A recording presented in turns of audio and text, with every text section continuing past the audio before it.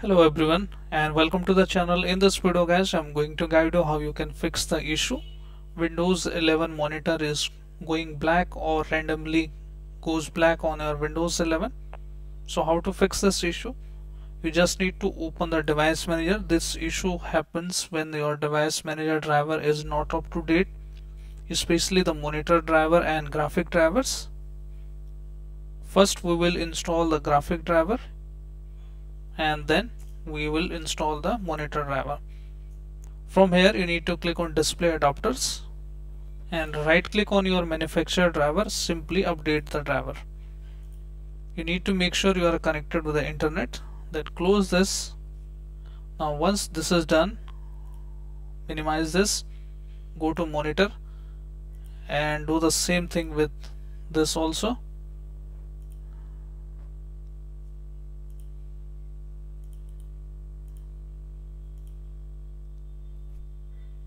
and you will see installing drivers.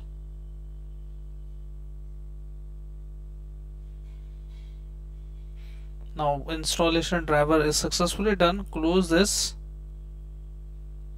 Okay and also you need to open the control panel.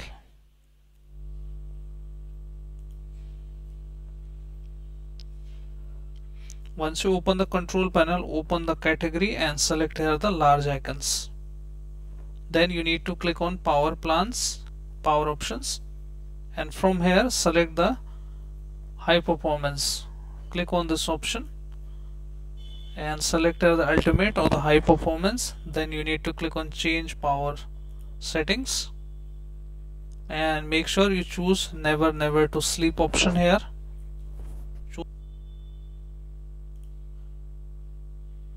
Click on this option change currently available unavailable. Click on this option change advanced power and look for PCI Express link state power and simply off all of both option here. If it is gray out select that option and make sure you selected off both of the options here. If you have only one option just off that and click on OK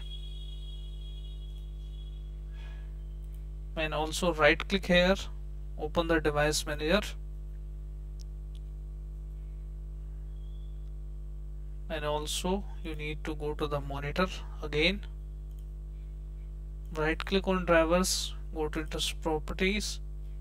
And if you see the power plan here let me show you.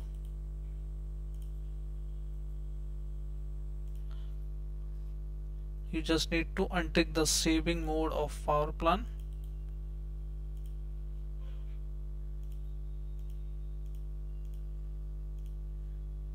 that option is not coming up here.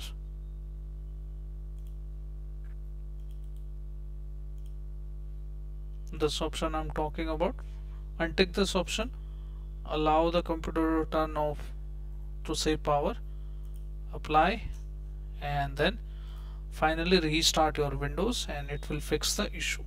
So this is how guys you can fix the issue. So i hope this video helps you. If yes then hit like subscribe and share.